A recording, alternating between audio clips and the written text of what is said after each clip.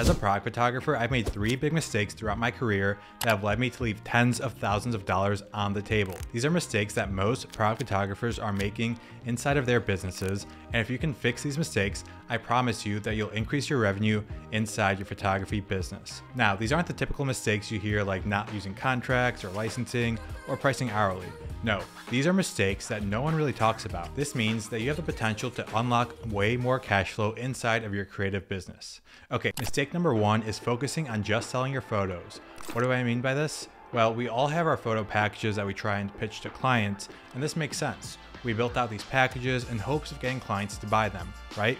We put together a high ticket offer and we've been pitching them to various clients, but oftentimes this isn't what clients are after. By the way, my name is Chris Pieta. I run a product photography company and teach creative business through my education company, Creative Biz Launch. Okay, so what do I mean by this first mistake? Well, oftentimes when we pitch clients photos, we're coming from a position of what we think they want. We've created these packages based off our market research. Speaking of packages, special shout out to all my Creative Biz Launch students watching who finished module three of the program and have created the perfect offer. Okay, so our packages include all sorts of things that we think clients want, but sometimes this isn't what the client actually needs. There's been times where I thought I was going to sell a 10 photo package, but it turned out to be 30 photos. That's a pretty big bump in package size, right? Well, this came as no accident. The system I teach always has the photographer and the client hopping on a sales or discovery call before signing any type of proposal. On this call, it's up to the photographer to ask the client the right questions to actually figure out what their needs are. Is the goal to take 10 photos for the client, or is the goal to help increase the revenue for the client? Clients want to work with you because they want to help their own businesses grow. They're hiring you to solve a specific problem. Let's expand more on mistake number one and provide a practical example to demonstrate the importance of truly understanding your client's needs. So imagine you have a potential client who you reached out to, then you set up a discovery call, and then you hopped on that call. Instead of just pitching your pre-made package, you get on the discovery call and dig deeper into their needs and goals. During this call, you ask questions like What made you decide to get on the phone with me today? What issues are you facing from a marketing end? By asking questions like this, you learn that the client's product sales have been underperforming. They've been using the same images for a while now, and they're not getting the traction on their social media channels or their online store. Now, this information is crucial because it changes the conversation. It's no longer about just delivering 10 new photos from your pre-made package. Instead, the conversation is now about addressing their pain points and offering a comprehensive solution. In this situation, as a photographer, you can suggest a complete revamp of their visual content strategy. This might include creating ad creatives, new hero images for their website, and even developing a new social media strategy to better showcase their products. By understanding the client's real challenges, you can offer a more tailored solution that not only involves a larger photo package, but also additional services that address their specific needs. This approach positions you as a problem solver and an expert in your field, making it more likely for the client to choose you over your competitors. It's so important to be proactive at this stage of the client acquisition pipeline, and so few photographers do it. So many make the mistake of not actually learning the client's needs. It also allows you to create a proposal that genuinely addresses their needs, leading to a higher chance of closing the deal and making more money in the process. In summary, mistake number one is not truly understanding your client's needs and just trying to sell them on a pre-made package. To fix this, make sure you have a conversation with your client to uncover their real goals, pain points, and requirements. This way, you can create a tailored proposal that not only increases your revenue, but also results in happier, more satisfied clients who are more likely to return for future projects. Speaking of future projects, that leads me to mistake number two. Mistake number two is ending the client relationship after just one project. Now, this doesn't happen on purpose. This happens as a byproduct of the way a lot of photographers operate as a business. As creatives, we often get so caught up in finding new clients and moving on to the next project that we unintentionally forget to nurture and maintain client relationships with our current clients. This can lead to missed opportunities for repeat business, referrals, and client testimonials. Personally, most of my revenue comes from repeat business. One of my biggest clients started with a small $1,500 package, but in the years I've worked with them, I've made over $50,000 just from this one client. 50 grand from one client is not bad. And the reason behind this is simple. I made the effort to keep nurturing that client long after the initial project was over.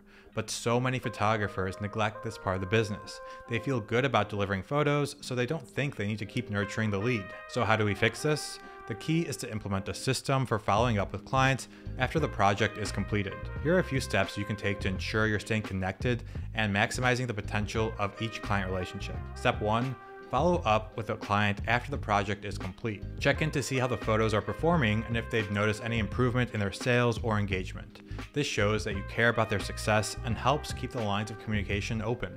You're acting as their biggest fan, and clients love to see that from their business partners. Because this client success is directly tied to your success, if your photos are helping them make more sales, they'll want to work with you more. They'll see the value that you bring, and they will pay you for that added revenue in their business. Number two, ask for a review or case study. If your client is happy with the result, ask if they'd be willing to provide a testimonial or participate in a case study. This can help you build social proof and be portrayed as an authority in your space. And not only does this help you, when clients think through their experiences with you, they'll hopefully feel positive about it. When they write that review, they will feel their decision to work with you be reinforced, and they'll be much more likely to work with you again in the future. Number three, and this is a big one, make sure you're using a CRM to keep track of all these clients. With a CRM, you can actually automate how often you should be reaching out. Let's say after you finish a project, you add the client to a project done stage of your CRM. Well, there you can have a timer start so that in three weeks, you get an automatic reminder to follow up with that client project. Then you get another reminder two weeks later to ask for a review or a case study. By systemizing this process, you maximize your chances of success. By the way, if you need any help with things like a CRM or systemizing your business like this, I teach the exact framework for this inside my paid program Creative Biz Launch. We've got dozens of students inside there with success stories, and we're opening up for enrollment in just a couple weeks. It'll be a limited enrollment just like last time, so be sure to join the waitlist for Creative Biz Launch down below in the description. I can't wait to work with you on your creative business. All right, so by taking these steps, you're able to maintain and strengthen your relationships with clients. You'll increase the likelihood of repeat business and referrals. This not only helps you generate more revenue for your photography business, but also creates a strong foundation for long term success. There's one big reason the client relationship might end that I haven't mentioned, and that's what brings me to mistake number three. First, I need to say something real quick. Thank you to everyone who's watched my videos over the past couple of years. This is going to be the last video inside the studio space.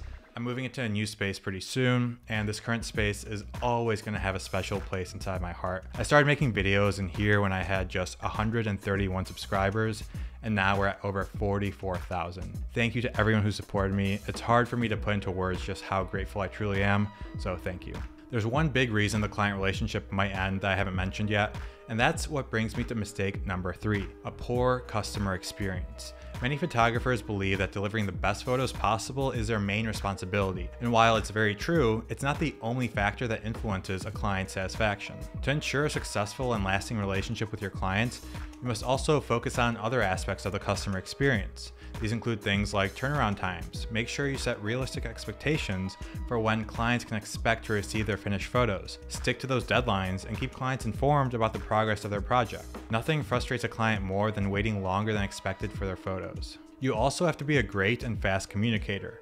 Always respond to your client emails right away after you receive them. Be prompt and professional in your communication. You want the clients to feel heard and understood. It's also essential to have a great onboarding process. Make the process of working with you as seamless as possible. This means focusing on the pre-production process. Involve your clients in the steps before the shoot. This can include discussing concepts, locations, or any other elements that will contribute to the success of the project. By including your clients in the stage, you'll ensure that everyone is on the same page and that the final photos align with their expectations. By focusing on all these areas of customer experience, you'll not only improve client satisfaction, but also increase the likelihood of repeat business and referrals. Remember, your ultimate goal here as a product photographer is not just to deliver great photos, but to create a positive experience that leads to clients eager to work with you again. That's all I got today. Thank you for watching, and I'll see you in the new studio.